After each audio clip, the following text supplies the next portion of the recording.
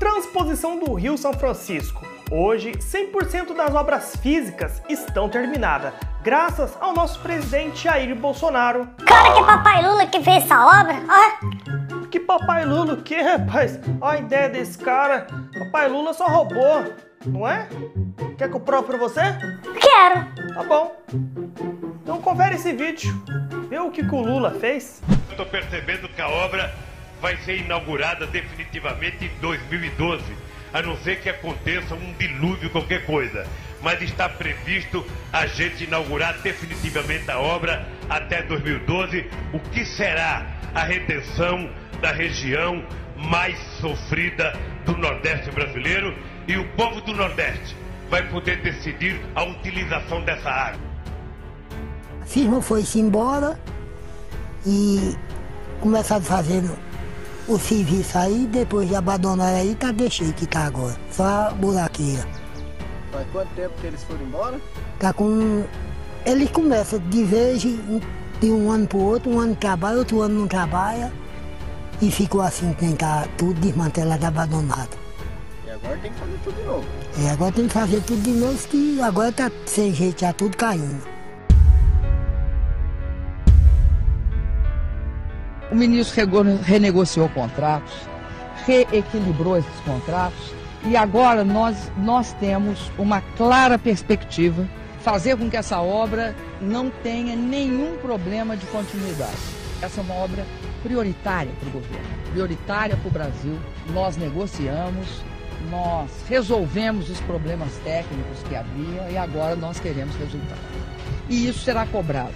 Até o final desse ano, nós temos a primeira fase do projeto concluído, etapa piloto. Na segunda, e aí sucessivamente até o final de 2014. Os sertanejos esperam ainda pela água do São Francisco. Que é difícil demais. A obra tá parada, né? Tá parada. Isso é uma coisa séria, pai. Botar. Ela abre a mão pro, pro, pro, pro sertanejo, que é quem botou ela pra frente. Foi o, sertanejo velho. Aqui, o, a- a- nós aqui, foi ela botou. Que ela não fosse por nós, que ela tinha perdido.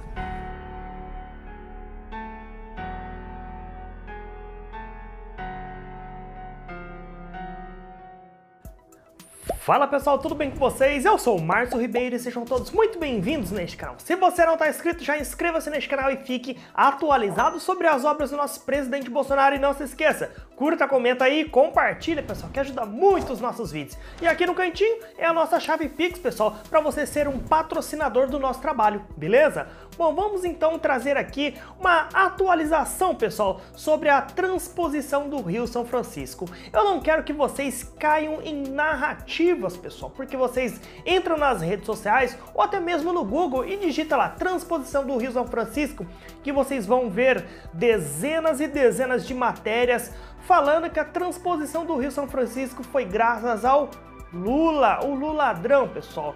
Pois é, vocês já sabem que essa transposição, né? é, já teve mudanças de projeto, já teve falcatruas para desviar dinheiro, não queriam terminar essa obra, tudo essas coisas que vocês já sabem, não é mesmo?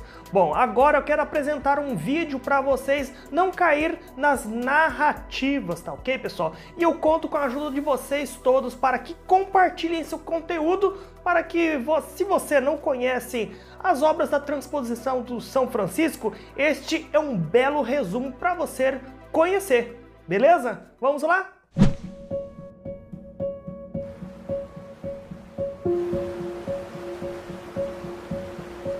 Acho que desde a época do Império, né? Isso aí é o sonho de ter água na- na- nas torneiras de cada casa, né?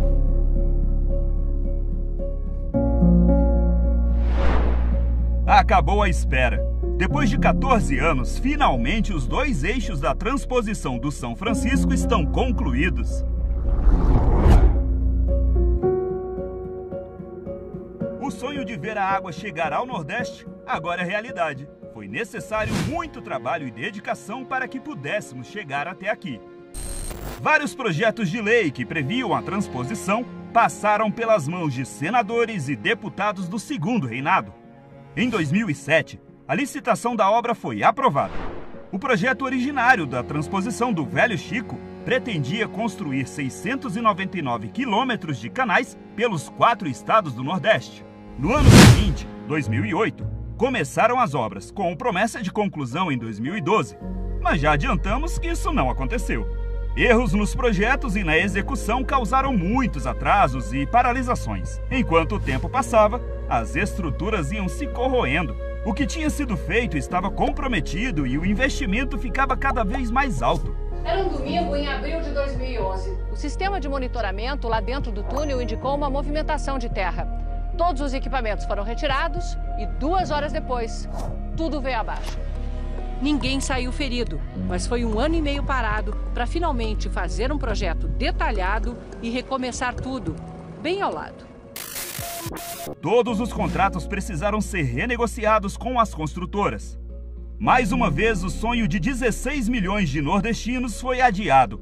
A obra que já deveria estar pronta parou. A esperança se espalhou pelo sertão. A água escorreria por aqui, entre paredes de concreto. Só que a obra parou e o serviço já feito vai precisar ser novamente executado. Em 2014, novos contratos e um novo prazo prometido. 2015. O projeto original foi reduzido e a promessa agora era entregar 477 quilômetros de canais. Regiões que antes seriam beneficiadas foram retiradas do projeto. Inicialmente, a obra, que custaria 4 bilhões e 500 milhões de reais, saltou para 14 bilhões de reais. O novo prazo chegou e, mais uma vez, a promessa não foi cumprida. Nenhum dos eixos principais foi colocado em operação. A capacidade operacional era de apenas 16%. Nos dois anos seguintes, a maior obra de infraestrutura hídrica do Brasil apresentou problemas e precisou ser novamente paralisada, o que gerou ainda mais atrasos e custos.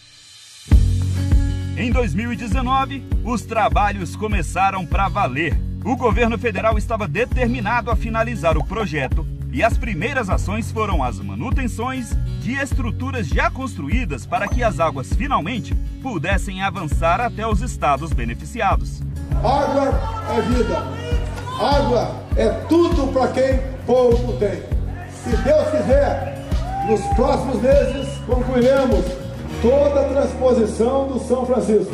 Hoje, confesso a vocês que vivi o passado, o sofrimento do passado e estou vivendo a abundância do presente.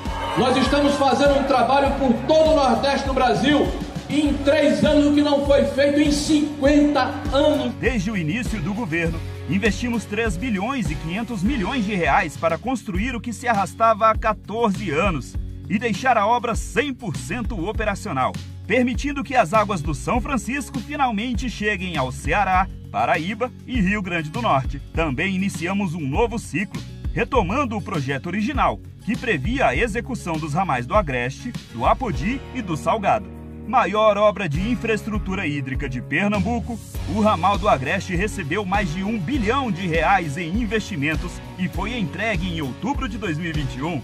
Iniciamos a construção do ramal do Apodi, retomando o compromisso com o povo da Paraíba, Ceará e Rio Grande do Norte.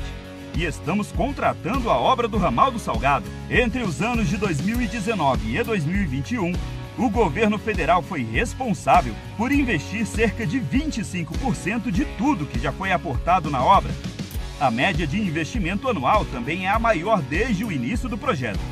1 bilhão 160 milhões de reais. O Brasil tem uma dívida com o Nordeste que nunca foi paga, mas começa a ser paga agora no mandato deste presidente que tem identidade e compromisso com o povo brasileiro.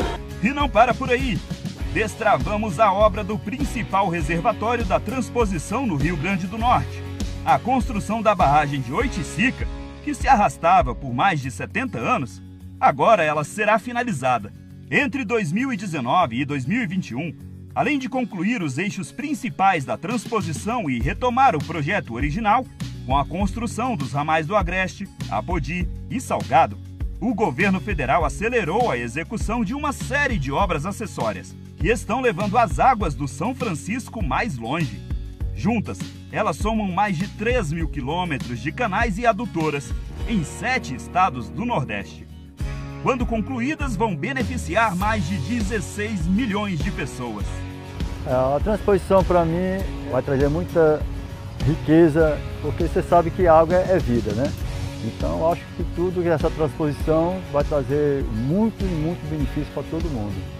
Esta gestão do governo federal já investiu 4 bilhões e 800 milhões de reais no conjunto de obras que estão levando a água do São Francisco mais longe.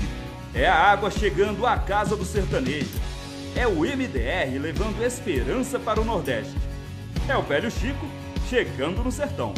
Ministério do Desenvolvimento Regional, Governo Federal, Pátria Amada Brasil. Então é isso, pessoal. Espero que tenham gostado desse vídeo. E se você não está inscrito, já inscreva-se, curta, comenta aí, compartilha, pessoal, que ajuda muito os nossos vídeos, beleza? Bom, e os nossos novos amigos do canal. Gilberto Lucivaldo Bispo Vani Andrade Maicon Jusilene Dias Valdete de Souza Vicente Xavier Claudir Amaral e Vladimir Moura. Meu, muito obrigado pela confiança em nosso trabalho, beleza, pessoal? Então é isso por enquanto. Márcio Ribeiro fica por aqui e até o próximo vídeo. Tchau! Tchau, pessoal! O que você tá fazendo? Cansei de ser enganado. Agora eu sou bolsominion. Meu querido presidente, e só vocês.